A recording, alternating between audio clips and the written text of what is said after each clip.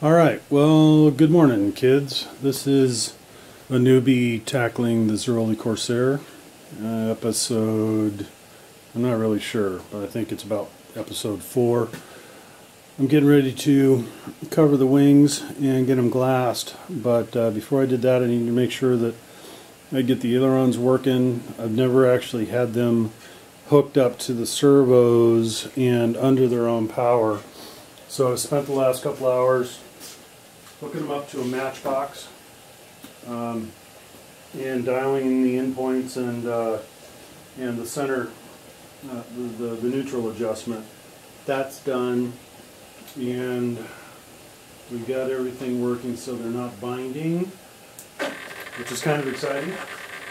I know it's no big deal, we've all done it a hundred times, but nonetheless, it's still the first time this Corsair has had the ailerons operating under radio power.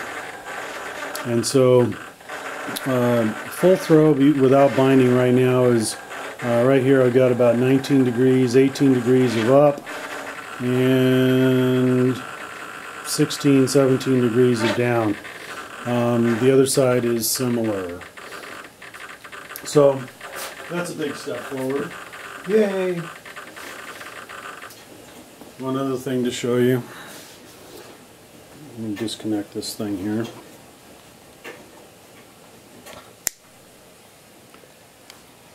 Just take a quick quick tour around before I haven't I haven't finished the lights um, yet. I'm probably not going to work on these anymore until uh, I get the thing glassed.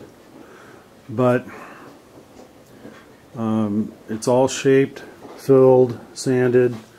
We're pretty darn close. Here's just a mess of stuff uh, thrown in there just to get the thing working. I'll, unpl I'll unplug all that kind of stuff here shortly. Uh, oh, here's Pitot.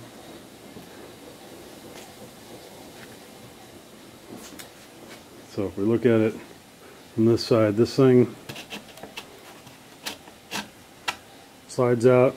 We got a uh, 632 bolt on the end of this carbon rod goes into brass tube there. Um, and there's a there's a magnet. That doesn't help.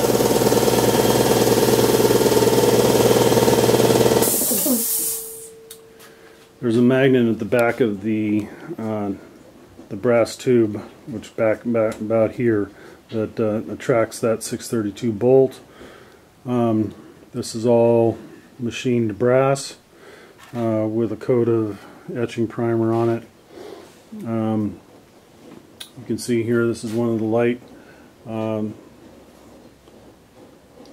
light bezel housing things and that's about it. I might hook up the flaps just for fun and see if make sure they're still working. Um, but I still have a couple more things to do little details here and there uh, to get this thing done and uh, get her in glass. Probably be another week before that happens, but we're getting close. Later.